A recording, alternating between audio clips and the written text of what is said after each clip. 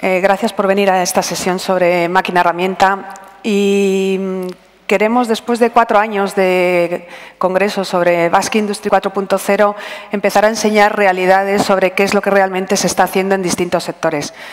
Hemos tenido la suerte de que nos ha tocado la sala más grande, a la máquina herramienta. No sé si es porque somos los más importantes, pero bueno, tenemos la sala más grande, pero también eso es una responsabilidad. Pero bueno, intentaremos que salgan de esta sesión con una idea realista de qué es lo que se está haciendo en, este sector. Eh, veo muchas caras conocidas y quería presentar qué es la máquina herramienta, por qué la máquina herramienta es importante, pero creo que, con todas las caras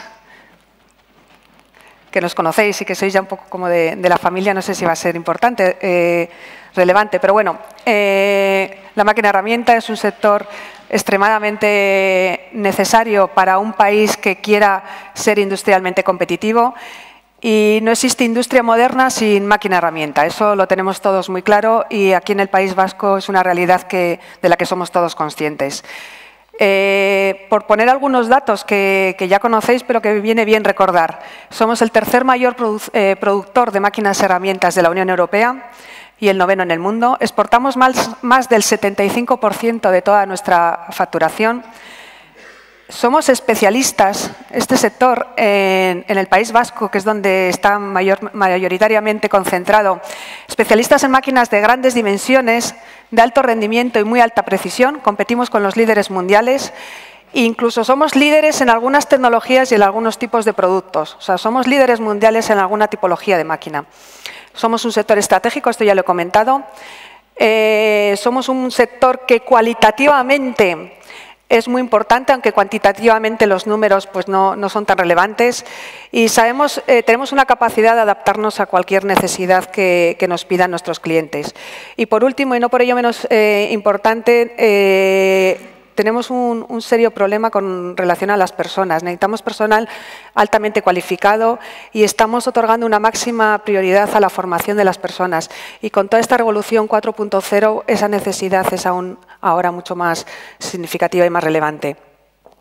En, el, clúster al que representamos eh, aglutinamos a las empresas, en, empresas que hacen máquinas de arranque, empresas que hacen máquinas dirigidas a la deformación de la chapa, de los, metales. Tenemos a un colectivo de empresas que englobamos dentro de un capítulo que llamamos otras tecnologías de fabricación, automatización, montaje, encintadoras. Eh, hay un tejido industrial de componentes que integramos en nuestras propias máquinas, que también eh, están eh, dentro de nuestro clúster. hay herramientistas, empresas que hacen herramientas de corte que también van dentro de nuestras máquinas y accesorios, que son otros elementos importantes dentro de nuestro sector. En, estos momentos, el clúster de máquina herramienta se compone de 125 asociados. Creamos de manera directa 7.400 eh, empleos y de manera indirecta otros 7.500 también. Y facturamos del orden de los 1.500 millones de euros. Dentro de lo que es el clúster AFM, eh, recientemente aglutinamos a distintos colectivos, no solamente a los fabricantes de máquina herramientas, sus componentes y sus accesorios, sino que hemos creado la Asociación de Fabricación Aditiva e Impresión 3D. Existe un colectivo del clúster de la ferretería y el suministro industrial que también gestionamos desde la propia AFM y recientemente creamos AFMEC. AFMEC es la Asociación de los Mecanizadores y Subcontratistas a nivel nacional. En total, en estos momentos somos 404 asociados, con 50 socios colaboradores, 12.000 empleos de manera directa y 2.200 eh, millones de, euros de, facturación. Con esto, bueno, he hecho una presentación de lo que es el sector de la máquina herramienta. Como decía, muchos de vosotros ya lo conocéis, pero me parecía relevante bueno, pues para todos aquellos que, en este contexto todavía no lo teníais de manera tan, tan cercano. Y sin más, voy a dar pie a presentar a cuatro representantes de cuatro empresas significativas del clúster con las cuales vamos a tener un pequeño debate. Eh, les voy a hacer una serie de preguntas sobre qué es lo que entienden ellas sobre Industria 4.0, qué retos tienen, qué es lo que están haciendo y después de esa mesa redonda, cada uno de ellos tiene cinco minutos para presentar eh, los hitos más importantes o, los desarrollos más significativos que ellos quieren que ustedes conozcan en el ámbito de la industria 4.0. Con lo cual, eh, procedo a invitar en primer lugar a, a Javier eh, Torreya, de la empresa Suraluce, que es el director del área de ingeniería y responsable del ámbito de digitalización del grupo Danovat. Tenemos también con nosotros a Kepa Huerta, de la empresa Ekin. Es el gestor de mantenimiento de, Ekin y uno de sus objetivos es impulsar en las plantas de Ekin eh, el concepto de fábrica 4.0 o industria digital. Eh, nos acompaña también José María Ramos, de la empresa ONA Electroerosión, el director de Tecnología e Innovación de ONA Electroerosión. Y por último, tenemos a Luis Pantoja, de Ingetim, que es el director técnico del Departamento de I+.D. de la Unidad de Negocio Automation Devices en Ingetim. Bueno, pues ya, ya estamos todos y iniciamos una, pequeña mesa redonda o coloquio que hemos preparado para que bueno, pues vayan dando cada uno de ellos una pequeña respuesta a qué es lo que entienden sobre Industria 4.0. La primera pregunta que, nos, queríamos lanzar es qué es lo que entienden por eh, Industria 4.0 en sus, em, en sus empresas de manera real y en qué están trabajando. Para ello, bueno, pues igual una electroerosión puede romper el hielo, bueno, Ona no, José María, puedes romper el hierro para empezar bueno, igual en vez de dar una definición más académica, yo creo que nosotros podemos contar un poquito con nuestra experiencia haciéndonos un autodiagnóstico de cómo estábamos en Industria 4.0. Esto fue una iniciativa de la Diputación Foral de Vizcaya y eh, viendo cómo se hizo ese estudio puedes decir cuáles son los, los, temas importantes en Industria 4.0 de máquina-herramienta. ¿no? Entonces, estos, estos tipos de estudios se fijan mucho, fundamentalmente, en cómo la empresa está conectada con los productos, ¿Qué posibilidades hay de servitización? Oportunidades de negocio relacionadas con, el mundo de los servicios. Eh, ¿Cómo de inteligente es la compañía? En el sentido de es capaz de tomar decisiones que no estaban planificadas en entornos cambiantes, por ejemplo. ¿Cómo está automatizada? ¿Cómo trata el tema de, la, de la ecoinnovación, por ejemplo?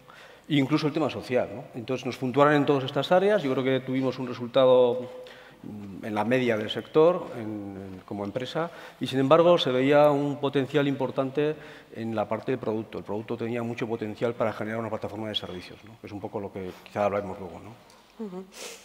Ekin, ¿tendrías algo para añadir? Sí, bueno, para Ekin, en realidad, bueno, desde el punto de vista de lo que es eh, la fabricación de máquinas para nuestros clientes, veíamos la necesidad, lo vemos como, como una una oportunidad de integrar eh, las tecnologías habilitadoras para poder ofrecer a nuestros clientes nuestro producto enfocado a la Smart Factory. Eso sería en definitiva. ¿Cuáles son los retos y oportunidades que la industria 4.0 ofrece o nos pone por delante de cara a nuestro sector? Eh, desde el punto de vista de Ingetim, qué retos o qué retos y qué oportunidades, las dos cosas?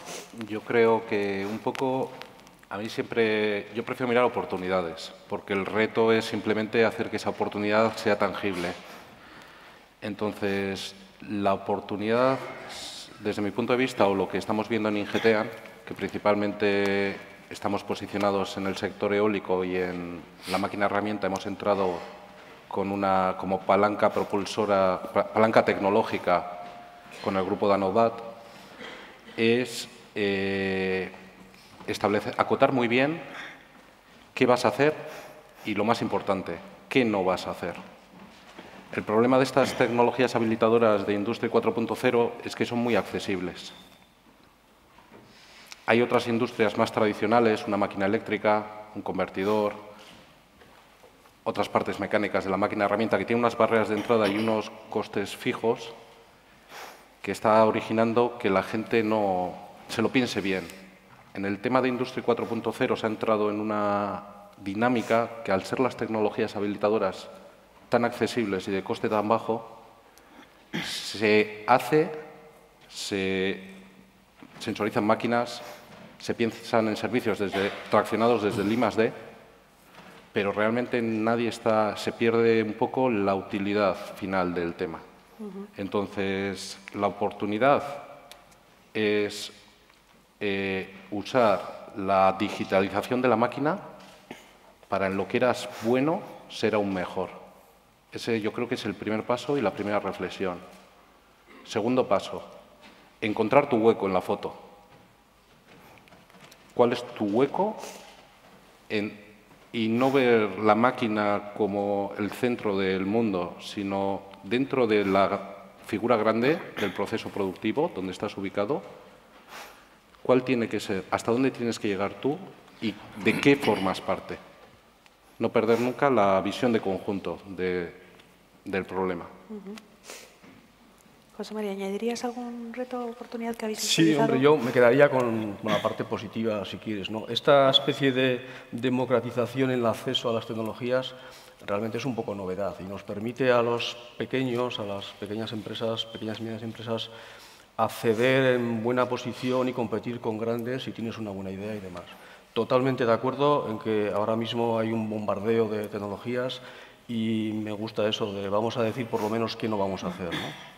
Seleccionar qué vamos a hacer. Pero yo sí me quedo con esa idea de que, en principio, ahora tienes una capacidad de cómputo, de manejo de información mm, accesible que realmente solo puede redundar en, beneficio. ¿no?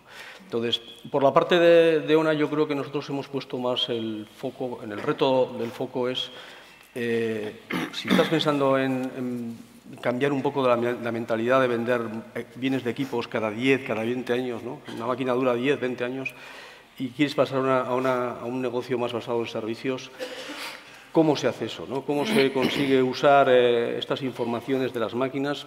¿Cómo se consigue ver toda esta película en paralelo que dices tú, holística? ¿Y cómo hacemos para que todo eso eh, redunde en el negocio? Porque al final todo esto va de, hacer negocio. Y bueno, pues eso es un reto, es un reto y hay que convertir ese reto en oportunidad.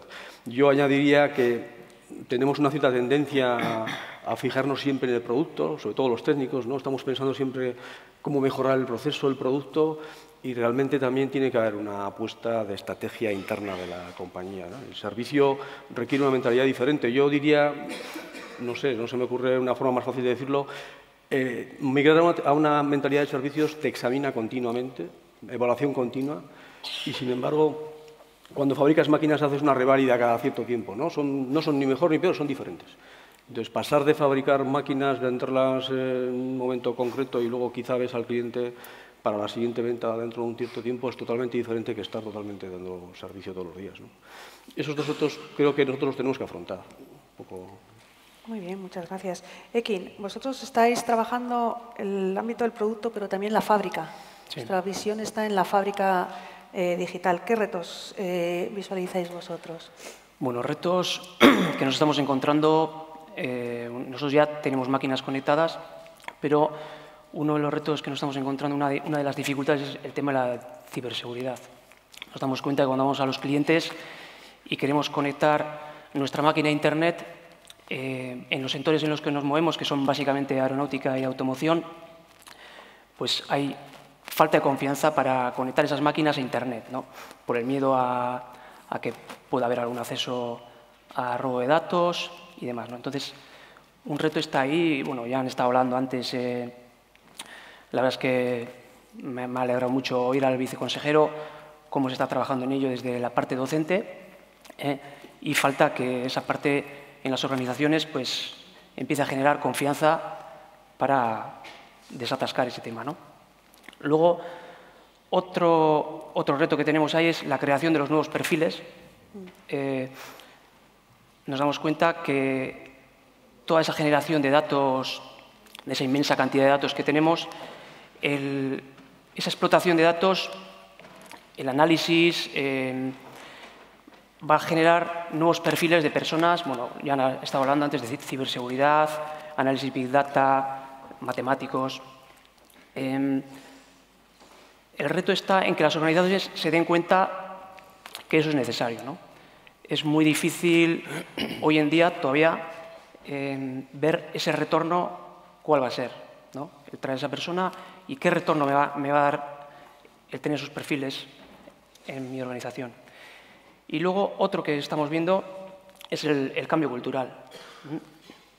Eh, bueno, la tecnología avanza más rápido que nunca y las personas, eh, yo creo que desde, la parte educativa, eh, también me alegra mucho lo que ha dicho Beatriz Ruiz, eh, acerca de que se está formando sobre inteligencia emocional, inteligencia social, creatividad.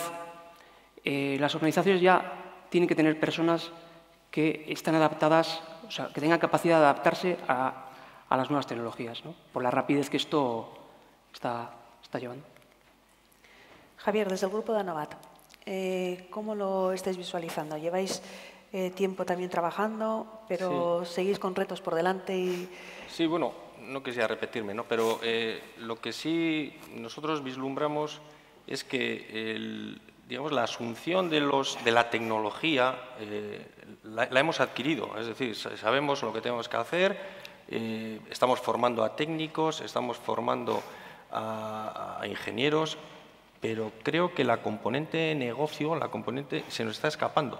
No sé si por propia incapacidad de, no sé, a mí me da la impresión de que sabemos muy bien los qué, pero no sabemos los cómo, no sabemos cómo llegar. Entonces sabemos, ¿no? Esto, eh, tenemos que generar relación con el cliente, no, no mera transacción, tenemos que generar relación. Y para esa relación vamos a aumentar el nivel de servicio, eh, la intensidad eh, de, esa relación con nuestro usuario, con nuestro cliente y vamos a utilizar estas tecnologías. desarrollamos las tecnologías, son retos tecnológicos importantes para un mundo que viene de, la mecánica, de la electrónica tradicionalmente y que ahora pues exige pues lo que llaman eh, skills híbridos o algo así, ¿no? Pues personas que entiendan eh, de mecánica, entiendan de electrónica, entiendan de producto, entiendan de proceso, no debemos de perder, lo hemos escuchado también en la, en la sesión anterior. ¿no?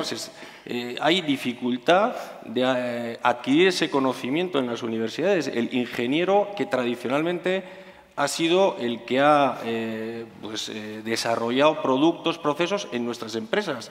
Es más fácil probablemente encontrar informáticos, analistas, matemáticos, que personas que entiendan o que eh, desarrollen actividad en ese mundo más tradicional de la máquina herramienta, que es súper necesario. ¿eh? No hay que olvidarlo. Estamos de 4.0, pero no hay que olvidar que la base de nuestra actividad es, la que es.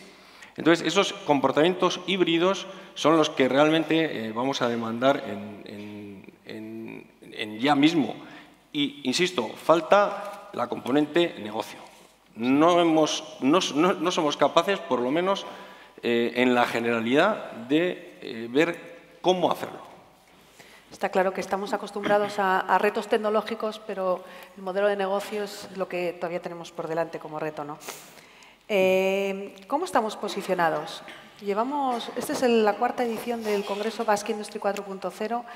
en Alemania se llevan muchos años hablando sobre estos conceptos. Eh, ¿Cómo estamos la industria vasca posicionada con relación a, estos conceptos? ¿Tú qué opinas, Javier? Bueno, yo creo que estamos a un, muy buen nivel. ¿eh? No sé, yo me remito a la última EMO en septiembre de este año en Hannover, la feria de máquina herramienta más importante del mundo probablemente, y ahí yo creo que las empresas vascas de máquina herramienta dimos una muy buena, muy buena impresión y me atrevería a decir que estamos a un muy buen nivel, a un muy buen nivel. ¿eh? Yo, sí, algunos venían a vernos. Sí, sí, sí, venían a vernos y bueno, y nos decían que, que bueno, que, es eso mismo, bueno, que estábamos a un buen nivel. Luego hay que tener en cuenta también nuestro tamaño, nuestra dimensión, hay que ver los grandes gigantes de la máquina herramienta, lo que están aportando en este mundo y bueno, eh, pero creo que no, no desmerecemos. ¿Cómo lo veis desde Ingetim? Vosotros venís del sector de los aerogeneradores, venís de otro sector, eh, esas tecnologías las estáis trayendo hacia la máquina herramienta. ¿Cómo, cómo nos veis posicionados? Un poco explicar igual el origen en Ingetean de, de lo que ahora llamamos 4.0. Nosotros tenemos, llevamos manteniendo, hoy he visto la cifra, creo que me ha parecido que mantenemos 10 gigavatios de energía eólica en el mundo. Bien, entonces para nosotros empezamos más o menos con este tema hace 6-7 años, no tenía nombre ni apellido, pero básicamente era monitorizar máquinas y usar los datos de la máquina para dar un mejor mantenimiento de la máquina. En el caso eólico es un sector muy maduro y directamente a nivel comercial, un poco, yo no soy comercial, pero un poco lo que me llegó, que era que se le daba, al ofertar el mantenimiento de un parque eólico por nuestra gente, nuestros técnicos, eh, daban un ratio, un porcentaje por contrato de mejora en la producción de la máquina si se aplicaba esta sensorización de la máquina. Entonces, las cuentas estaban claras, el retorno de la inversión está claro y el riesgo estaba claro, también por parte que asumía Ingetean y su know-how. Entonces, cuando pones esas piezas en el negocio y lo consigues hacer tan palpable, que llegas a un ratio de producción o produces un 20% más, un 30% más, o te gastas en mantenimiento un 30% más, y es verdad, eh, esto es de manera natural. Entonces, en Ingetean un poco posicionados, estamos bien posicionados tecnológicamente. En el caso de eólica hemos sabido dar el negocio, pero simplemente no es que de repente viéramos un negocio nuevo, ya estábamos manteniendo aerogeneradores. Fue una evolución natural. Para ser competitivos en algo que ya hacíamos, necesitábamos no estar cambiando tornillos en aerogeneradores en China, que eso siempre va con mano de obra local, sino centrarnos en la parte de mantenimiento y de servicio de más valor añadido, que era dar las directrices a la gente local de lo que tenía que hacer. Muy bien, muchísimas gracias. Vamos a hablar de las tecnologías habilitadoras. Se habla de cloud computing, robótica colaborativa, eh, realidad virtual, realidad aumentada. Eh, ¿Qué significan todas estas tecnologías de cara al sector de la máquina herramienta? Si tuviéramos que priorizar o, analizar esas tecnologías y, qué hacemos con ellas de cara a nuestro sector, eh, ¿cuáles podrían tener un mayor impacto potencial dentro de nuestro sector? ¿Tú qué opinas, José María? Hombre, yo voy a hablar un poco desde nuestra experiencia. Yo para todo el sector no me atrevería A, decir. Todas esas tecnologías tienen aplicaciones en, muchos campos y cada proceso es diferente. En el caso de ONA, del, proceso de electrolusión, yo estoy particularmente sorprendido de la expectativa que, se está generando en torno al análisis masivo de datos en, nuestro proceso. Nuestro proceso es un poco peculiar, es un poco nicho, eh, no es muy conocido y tiene la peculiaridad de que puede producir un montón de datos en, en poco tiempo, porque las descargas se producen cada microsegundo. Entonces, tenemos una forma de llegar al Big Data, digamos, eh, por el camino de la escala temporal. ¿no? Y las, luego presentaremos algún resultado y, realmente a mí me parece una de las tecnologías que debemos eh, estudiar nosotros. Dicho esto, eh, creo que también no va a ser ni fácil ni directo eh, importar eh, lo que conocemos del Big Data de las redes sociales, de las grandes compañías que, mueven este tipo de, tecnología a nuestros procesos. Pero sí que creo que nos estamos perdiendo algo ahí, por lo menos nosotros tenemos la intención de explorarlo y, intentar ver qué, se puede hacer. La idea es que, trabajando como estamos trabajando ahora mismo, nosotros no vamos a duplicar la velocidad de corte de una máquina de torsión, o por lo menos no se ve a, corto plazo. Entonces, vamos a tener avances lineales, como los estamos teniendo ahora, y sin embargo, en teoría aquí se espera algún avance disruptivo en ese tipo de cosas. Por ejemplo, en la elaboración de sensores que eh, no son posibles de fabricar, no existen sensores para algunos parámetros que, sin embargo, se pueden eh, inferir a partir de otros. ¿no? Todo ese tipo de tecnologías queremos abordar. Y un problema que tenemos es que tenemos que poner en, comunicación al, experto del dominio, nuestro experto de extrusión, con alguien que sea experto en analítica. Porque lo que ha quedado claro es que los dos, cada uno por independiente, no van a poder resolver el problema. En el grupo de Novat habéis comprado alguna empresa que complementara nuestras capacidades. Eh, ¿Cómo veis vosotros también estas tecnologías? En temas de realidad virtual habéis eh, también algo, utilizado. Sí. Bueno, en general yo no me atrevería a listar más o menos impactantes, ¿no? Yo creo que todas ellas tendrán eh, seguramente su, su, cabida. Todo dependerá del para qué y cuál es el impacto en negocio que tenga cada una de las tecnologías. Nosotros pues, por ejemplo, también centrados en nuestro caso, hemos empezado eh, la parte más de analítica de datos, eh, computación en nube, etcétera. Efectivamente, eh, compramos una empresa, una startup pequeña que se llama Savi y la que complementa o la que fundamentalmente nos, facilitaba el acceso a, esa, cantidad de datos que necesitábamos para hacer después el análisis. Eh, también es claro que nosotros, pues, en principio, pues, no hemos eh, no hemos explorado sobre todo pues, temas de fabricación aditiva o, robótica colaborativa, por ejemplo. Pero bueno, eh, no hay que descartar nada. Este es un camino largo, acabamos de empezar. Insisto, el impacto en el negocio es el que te va a llevar a desarrollar una, otra u otra. ¿Cómo creéis, por acabar, lanzo una última pregunta y luego os dejo vuestros minutos de gloria para contar vuestros eh, desarrollos? Eh, todas estas tecnologías, ¿cómo van a modificar nuestros modelos de negocio? Eh, hemos dicho que tenemos unos, los retos tecnológicos, sabemos abordarlos o, hemos sabido hasta ahora abordarlos, pero tenemos un reto importante con relación a las personas y otro reto importante con relación a los modelos de negocio. Eh, ¿Cómo van a modificar? ¿Podéis intuir de alguna forma cómo van a modificar nuestros modelos de negocio? ¿Qué, qué podríais decir al respecto? Seguro, seguro que sí. Ahora ¿Alguna pista o, no? estamos todavía Hombre, hay, empresas de máquina herramienta ya que están facilitando otro tipo de, servicios, de modelos de negocio diferentes al de la compra o al de los propios servicios, eh, digamos, estándares, ¿no? Eh, eso va a venir, yo creo que con toda seguridad, ¿eh? con toda seguridad. No sé si vamos a uberizar también la máquina herramienta o cosas de estas. No, lo sé, ¿eh?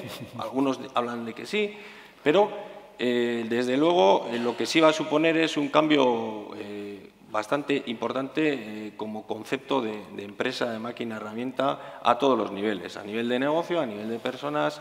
yo creo que el cambio que viene es, muy importante y además es, imparable, por mucho que, que queramos, creo que es imparable. ¿Queréis aportar algo, alguno de los participantes, en cuanto a modelos de negocio o, algo que hayáis visto y que pueda dar alguna pista? Sí, yo coincido totalmente y añadiría quizá que eh, no va a ser fácil monetizar estas cosas. ¿eh? Nosotros, la experiencia que tenemos desde hace unos años es que venimos ofreciendo servicios de valor añadido importante al cliente Hace ya mucho que no te compran una máquina de forma estándar, nadie. ¿no? El perfil del, fabricante de máquina herramienta del País Vasco es eh, alto valor tecnológico, eh, dar soluciones. Te compraría una máquina si resuelve este problema que yo tengo. ¿no? Tú te muestras o, crees demostrar que eso ha aportado valor, sin embargo se mantiene la, transacción del negocio de te pago por la máquina. ¿no? Yo creo que hay un reto bastante importante, imaginativo ahí. ¿eh? No, no veo fácil eh, monetizar eso. Y una de las posibilidades probablemente sea introducir más datos, es decir, introducir datos en la cadena de fabricación nos va a dar un poco eh, pesar mejor las cosas. Efectivamente, esto ha mejorado. No es una percepción, porque las percepciones son muy variables con el tiempo. Lo último que me ocurrió ayer es más importante que lo que ocurrió hace 10 días. ¿no? Entonces, los datos van a ayudarnos en eso, yo creo. ¿no? Muy bien, pues con esto damos por concluida la, mesa redonda o el intercambio de impresiones con relación a los puntos que habíamos preparado. Y ahora vamos a dejar cinco minutos a cada uno de los participantes en, esta sesión para que nos cuenten unos highlights o aquellos temas que consideran que pueden ser interesantes para, presentar. Empezamos con Danovat Group, con, con Javier. ¿Cómo se pasa esto? pongo de pie, ¿vale? El botón grande es para... Ah, vale. Bueno, eh, voy a presentar un poco la iniciativa eh, Danovat Group Digital, eh, que luego tiene su, digamos, su concreción, su aterrizaje en, las dos marcas que representamos, ¿no? que son Danovat Digital y Soraluce Digital. Bien, en principio, pues bueno, lo que, lo que buscamos, y creo que lo he dicho también, ¿no? es eh, aumentar el nivel, la intensidad de relación con nuestros clientes. ¿eh? Partimos, eh, como veis, por cierto, este es el puntero, no sé. el botón gordo es el... vale. partimos, bueno, de fabricante de máquinas, pero vamos escalando, vamos escalando en grado de especialización, vamos escalando en valor añadido y vamos escalando sobre todo en la intensidad de la relación con nuestros, con nuestros usuarios de máquinas, pasamos a aplicaciones de máquinas, a proyectos llave en mano, con una, eh, con una pieza, con algo muy concreto, y luego ya eh, eh, terminamos en estos servicios avanzados que entendemos que estas tecnologías 4.0 pueden facilitar. ¿El output de todo esto? Bueno, el output de todo esto es un equipo de trabajo que llamamos DG Digital, Danova Group Digital, con una propuesta de valor soportada fundamentalmente en personas y colaboraciones e infraestructuras. ¿De acuerdo? La propuesta de valor, esto es Danova Group Digital, Danova Digital, Soluce Digital. cuatro suites, o una suite de cuatro utilidades, digamos. Smart HMI, Intelligent Components, Control System y Data System. Desarrollo los cuatro brevemente. Smart HMI, la forma en la que nos comunicamos con la máquina, la forma en la que a través del control numérico, que sigue siendo, eh, no sé qué será dentro de unos años, pero hoy es el control numérico, es el que nos eh, da el interfase con, la máquina. Entonces, personalizar ese HMI, hacerlo más, eh, más friendly, más amigable, incorporando también desarrollos propios que faciliten la usabilidad de nuestras máquinas. Intelligent Components, eh, bueno, componentes inteligentes, eh, fundamentalmente desarrollos también eh, inteligentes, novedosos, entre ellos pues aquí destacamos pues el, estabilizador de, vibraciones, ¿no? el, DAS que llamamos nosotros, que, bueno, que tuvo cierta repercusión en el mundo de la máquina herramienta por ser un elemento que detectaba y eliminaba el chatter en máquina. La parte de control system, la parte de control system, eh, conectividad y integración de nuestras máquinas en líneas de mecanizado. Y luego, el ámbito en el que probablemente más hayamos eh, desarrollado o más tiempo estamos invirtiendo y más recursos es en toda la parte de data system, que básicamente es eh, la máquina emite una serie de datos, constantemente, eh, funciona tres turnos al día, 24 horas, etcétera. Todos estos datos se recogen en cloud, se computan, se analizan y de ahí lo que eh, se trata es de sacar, de extraer la información eh, necesaria para bien canalizada, ser capaz de ofrecer un servicio, un servicio que vaya en la mejora del proceso, la mejora del producto, la eficiencia energética, etcétera. Soportado en personas, lo hemos hablado y, eh, lo hemos hablado en, la sesión anterior, lo hemos hablado aquí ahora en esta pequeña entrevista. Eh, estamos muy preocupados por los skills, por las necesidades de personas que mm, van a ser las conductoras de todas estas tecnologías y las implementadoras de estas tecnologías. Tenemos relaciones con universidades, tenemos también algunos algunas iniciativas como pues, eh, el apoyo del máster de MU o una escuela taller eh, propia o apoyo a tesis doctorales. ¿eh? Estamos muy preocupados por el tema personas. Y luego, este mundo, si, algo nos, está enseñando es a colaborar. Lo han dicho antes también, colaboraciones. Desde pequeñas empresas como Savi Data System, pequeñas startups de 6-7 personas, grandes gigantes como Siemens o Schaeffler unas y luego también unas infraestructuras que nos permitan eh, probar nuestros desarrollos.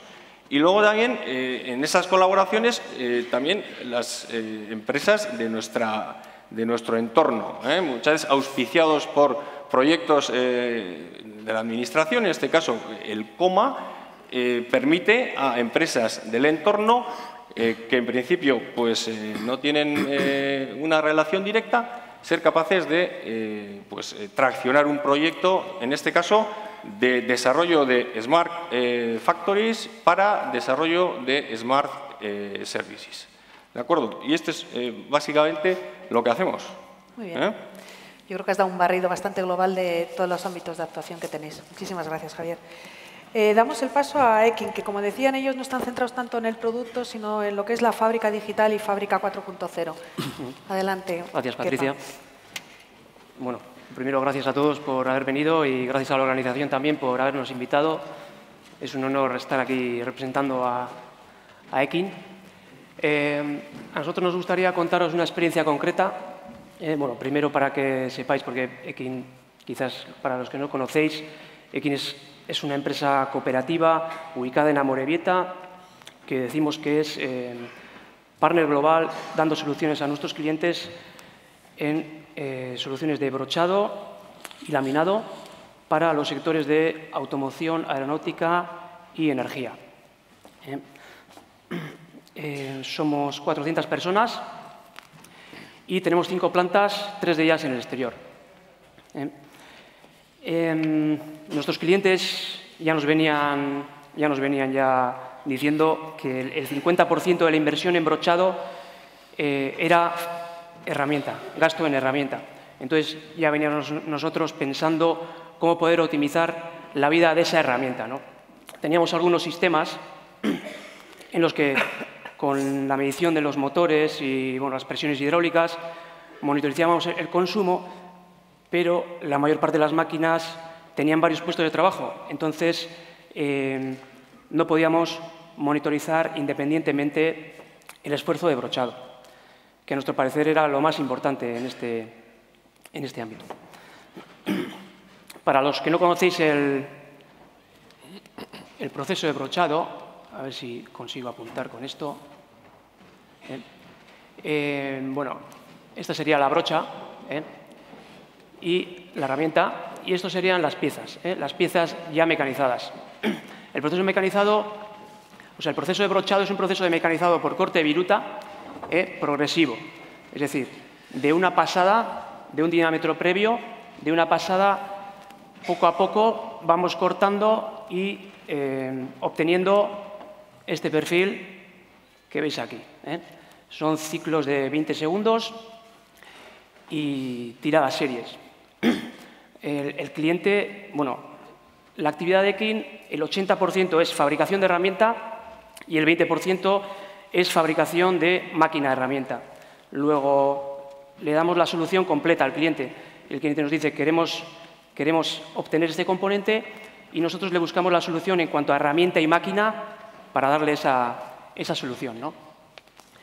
En ese impasse en el que estábamos viendo cómo optimizar la vía de la herramienta por puestos independientes, eh, tuvimos la, oportunidad de participar en un proyecto del Gobierno vasco en el que participaban varias empresas y varios centros tecnológicos y tras varias semanas de, bueno, de darle vueltas a la cabeza, junto con IDECO, desarrollamos eh, un sistema ciberfísico que es...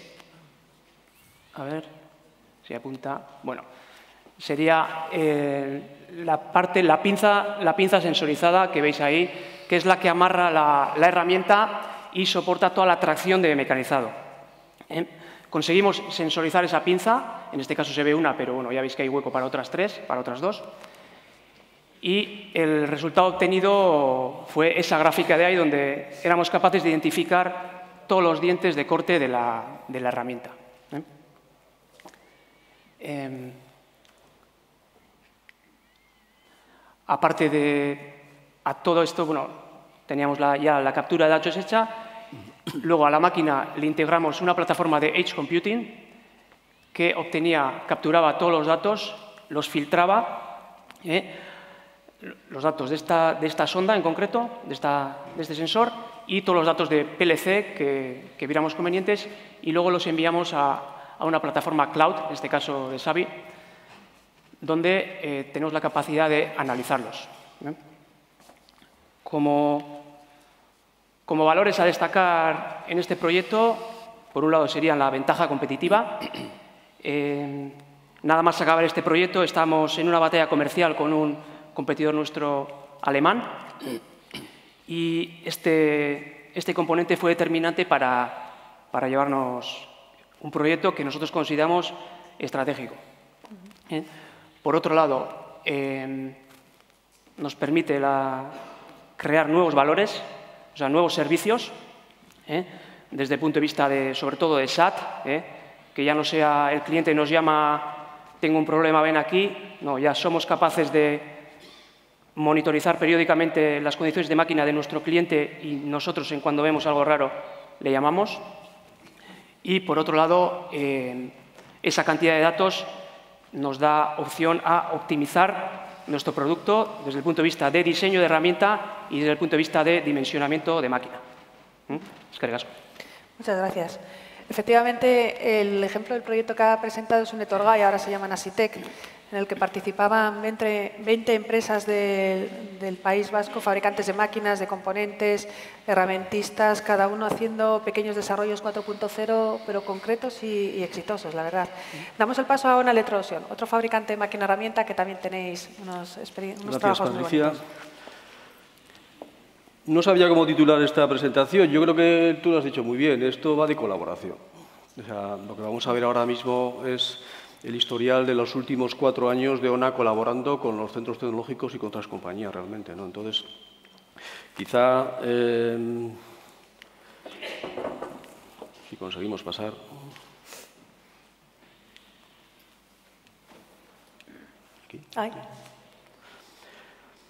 Nosotros empezamos, por poner una fecha, hace cuatro años con un proyecto europeo que iba fundamentalmente de estudiar eh, nuevas eh, oportunidades de negocios en torno a servicios, monitorización de datos, analítica de datos, el proyecto este Prosecco con nombre de vino italiano y además internamente alineamos todos nuestros desarrollos para que de alguna manera diéramos soporte a este proyecto. ¿no? Esa estrategia a veces le dicen que no es muy positiva, que es yo quiero que mi máquina esté preparada para. ¿no? Es una estrategia un poco reactiva de la cual estamos saliendo, hay que ir un poco más allá. ¿no? Desarrollamos el CNC durante estos cuatro años a unos niveles como nunca habíamos visto. Nuestro generador de electroerosión ya es totalmente digital, podemos actuar a cada nivel de descarga y teníamos una experiencia importante trabajando en proyectos llave en mano en el área de automatización. Juntando todo esto, tuvimos la oportunidad de, participar en este proyecto. Eh, sistemas ciberfísicos para la pequeña y mediana empresa. Antes habéis visto este logo ya. Vais a ver muchos logos, yo creo. El tema de la colaboración es patente. Y de esta manera, trabajando con IDECO, accedimos a la plataforma de SAVI y generamos esta, esta primera implementación de una nube en la cual se ven máquinas de electroerosión. ¿no?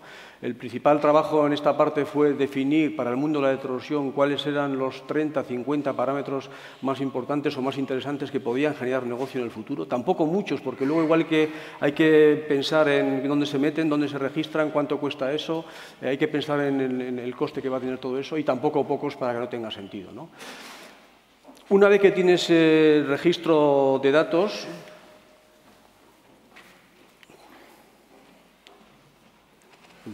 ¿Cuál es? El del medio.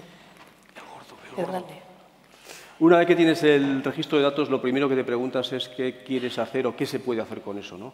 Y este es el elemento diferencial de otro proyecto, el ASITEC Estratégico Insights. La palabra es muy buena porque es un poco eh, cómo escuchamos a la máquina, qué percepciones nos está contando que no habíamos tenido antes. ¿no? Y aquí también accedemos a otra plataforma de monitorización, la plataforma de, en principio trabajábamos con Tecnalia, pero ahora se ha generado una startup, hay una colaboración con Spiro y trabajamos con Vixion. Mm, son un poquito diferentes. Yo creo que en la plataforma de Savi nosotros vamos a la plataforma y estamos como un fabricante más de máquinas máquina herramienta. En esta plataforma ellos vienen un poco hacia nosotros y generamos dos modelos diferentes que nos gustaría testear. ¿no? Una vez más también está aquí eh, el proyecto europeo dándonos un poco el paraguas de, la avanzadilla de dificultades que podemos encontrarnos y demás. Y a partir de aquí, si pasamos de pantalla,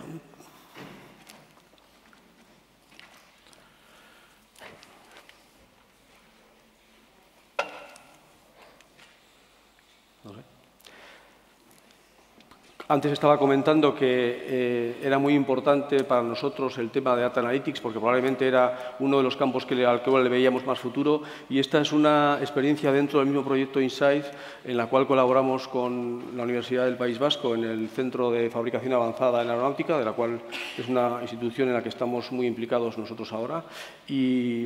La idea aquí era generar un nuevo sensor, un sensor indirecto que consiste en medir el espesor de una pieza. Según vamos cortando no sabemos qué espesor de pieza tenemos. En el sector aeronáutico es muy típico seccionar un tipo de anillos en los cuales el, espesor no es constante y además no solamente no es constante sino que tiene unos cambios abruptos de espesor, con lo cual es muy posible que se rompa el hilo y se generan unas dinámicas improductivas. Trabajando con... Eh, analítica de datos del origen de todo el proceso de electroerosión, que es la tensión y la intensidad, la descarga en sí misma, generamos un buen volumen de datos de alta frecuencia usando sensores de laboratorio por un lado y por otro lado usando nuestro propio Data Tracer, que es el sistema interno que permite eh, analizar las descargas y con el cual se mueve la máquina. La sorpresa fue que usando técnicas de Deep Learning éramos capaces de detectar con 3 milímetros de anticipación cuando se iba, se iba, cuando iba a producir un cambio brusco de, espesor. Esto tiene una lógica física detrás que no habíamos, eh, en la cual no habíamos caído, y es que el, hilo está rodeado de un baño que sale de una boquilla que tiene un diámetro de 3 milímetros y un sistema eh, eh, entrenado para ver una señal de altísima frecuencia, muchos datos, es capaz de ver pequeñas variaciones de presión en el líquido que nos adelantan que va a haber un cambio de espesor. Este tipo de correlaciones, que no sabemos cuántas hay, es el, el tipo de correlaciones que nos gustaría estudiar y que antes comentaba. ¿no? Y finalmente, eh, todo esto lo hemos llevado a, la EMO, que es un evento de primer nivel, como has comentado antes, es probablemente el, número uno, y hemos presentado eh, no solamente la parte de producto, eh, los servicios asociados al producto, sino también en la parte derecha inferior podéis ver la parte de la empresa implicada en generar una nueva oportunidad de negocio que llamamos ONA Smart Connect, de la cual hemos hecho unas dos o tres aproximaciones primero y estamos pensando ahora en desarrollar sobre todo el mantenimiento predictivo. Creo que tenemos que dejar aquí. Muchas gracias. Genial, muchísimas gracias. Y antes de los aplausos nos queda Ingetim. Estamos fuera de plazos, pero vamos a dejarle a Ingetim que, nos haga una pequeña presentación de qué es lo que ellos están desarrollando. Igual estaba muy cerca. Bueno, eh, me, voy a dar, me voy a dar prisa. Mi nombre es Luis, me he presentado antes. Y en GTAM, bueno, por quien no nos conozcáis, principalmente estamos, eh, venimos del mundo de la generación, transporte y consumo de energía eléctrica y energías renovables. Ese es un poco nuestro campo de actuación. Entonces, una de las primeras preguntas que nos hacen es ¿qué pintáis vosotros en máquina herramienta? ¿no? Los que ya nos conocían. Entonces, bueno, pues esta presentación trata de explicar eso. Entonces, Ingetean, básicamente lo que ha hecho es, ha salido aquí varias veces, comentado por varias personas, un poco a la hora de abordar y esta oportunidad conseguir que sea real y sólida, de tal manera que pueda sacar al final un negocio monetizado y no sea abrir problemas o frentes de fallos que no tenías, pues es importante la cooperación entre empresas. Este, en nuestro caso, hemos cooperado haciendo más o menos la tecnología que ya teníamos aplicada en el mundo eólico y, bueno, y ya teníamos muy consolidada, pues la hemos trasladado a casos de máquina-herramienta, cooperando o trabajando conjuntamente con Danovat. Entonces, esto es un poco los productos o las plataformas que estábamos aplicando desde hace años en eólica para temas que ahora se llaman Industria 4.0 y el resultado de esas tecnologías se ve en ese armario que, tiene dentro la electrónica de Ingetean y básicamente es con lo que se está haciendo la monitorización de algunos casos de uso que han salido aquí de máquina herramienta. Esto ha sido dentro de dos proyectos que están ahí arriba, COMA y CPS 4SME, y qué cosas tangibles se han conseguido. Se ha conseguido, en el caso que ha comentado Javier, el DAS, Dynamic Active Stabilizer. Entonces, ¿qué aporta Ingetean? Pues Ingetean aquí no ha aportado innovación. La innovación es del grupo de Anovat y Soraluce, apoyado en NIDECO. Simplemente hemos sido una palanca tecnológica de aseguramiento de éxito.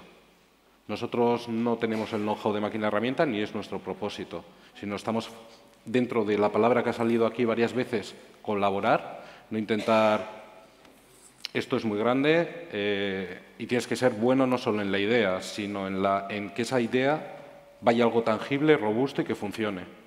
Entonces, ese ha sido nuestro papel. Y en el otro proyecto que hemos participado es en la parte de Condition Monitoring, que básicamente es nosotros lo que sabemos hacer, pues aportarlo a la foto y viene explicado en la siguiente transparencia, que básicamente es un poco facilitar la recogida de, la información en máquina y posteriormente ya la integración con SAVI. Entonces, al final ha sido la suma de, de expertise.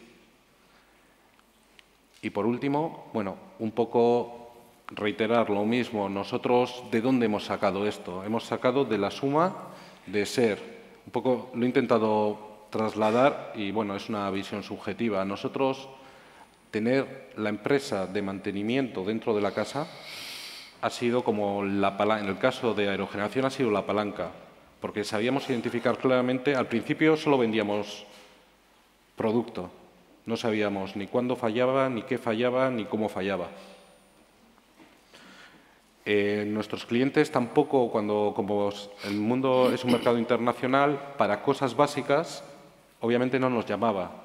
Había empresas en los países destinos que directamente cambiaban piezas o hacían el mantenimiento. Entonces, la visión de la empresa de mantenimiento nos ha permitido distinguir en las tareas de mantenimiento qué parte es bastante fácil o bastante mecánica a cuál es la que realmente el cliente final no va a tener en su país destino suficiente expertise y va a recurrir a ti si aciertas en las predicciones de mantenimiento predictivo. Entonces, básicamente esto nos permite cerrar el círculo, estamos como vendiendo producto y dando servicio y lo hemos digitalizado. Y esa tecnología de digitalización y control de máquina eléctrica, directamente, pues, cooperando con gente del mundo de la máquina herramienta hacemos de palanca. Y eso es todo. Muy bien, pues ahora sí que podemos aplaudir a, a los cuatro participantes.